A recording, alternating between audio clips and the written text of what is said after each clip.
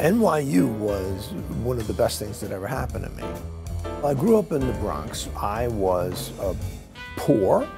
Uh, I was uh, uneducated and I'm the first member of my family ever to go to college. I very quickly realized that uh, theater was something that I was very drawn to. Putting on theater, writing theater, directing theater. Education theater, you know, provides an opportunity for students who, who don't think they want a career in acting, but want to use theater, use drama uh, in a community setting or in a school.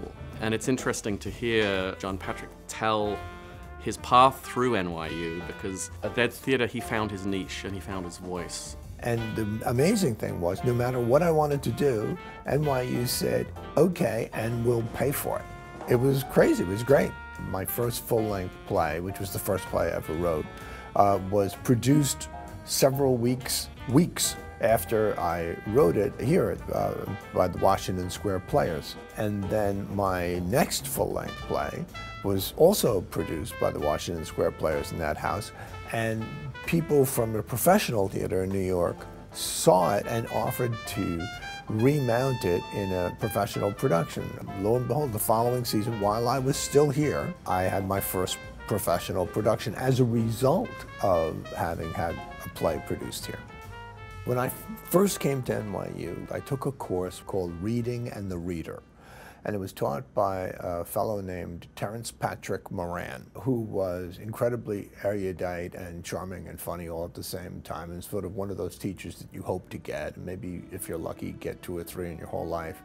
Uh, and we became friends. So when I wrote Moonstruck, a very thinly disguised uh, version of Terry appeared and was played by John Mahoney. Fortunately, he's still speaking to me. We're still friends to this day.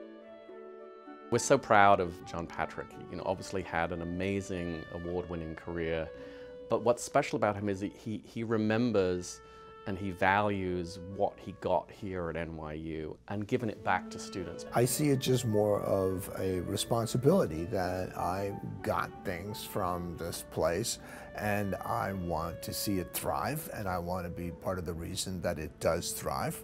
And when NYU contacted me and said that they wanted to give me an uh, honorary doctorate, I was doubly thrilled because it meant that I was going to have a double homecoming, both to NYU and to the Bronx, because it was going to take place in Yankee Stadium. And I felt sort of my life come full circle, sort of like rounding the plates in the stadium.